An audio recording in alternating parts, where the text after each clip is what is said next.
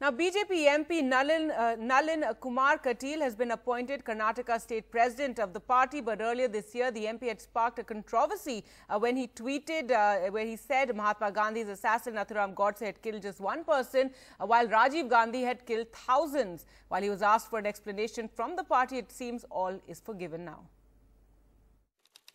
These are words tweeted earlier this year by a man who has just been chosen to be the Karnataka state president of the BJP.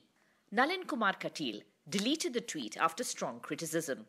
He was also asked for an explanation by his party bosses, but they seem to have looked past all that while selecting him for this post. His popularity is very high, and plus he has come back. He has come from an organization known as RSS. He's from the Sangh. He would have said certain things that might have been twisted and reported. His communal statements have resulted in a lot of uh, violence and uh, disturbances. So uh, I hope now, as the BJP state president, uh, he will not, uh, you know, he'll be more careful with the way he talks. The Dakshina Kannada MP takes over from B.S. Yediyurappa, who was sworn in as Chief Minister of Karnataka for the fourth time last month. 53 year old Kateel, who has an RSS background, was an unexpected choice with many believing the post would go to any of the senior leaders who were not picked for Tuesday's cabinet expansion.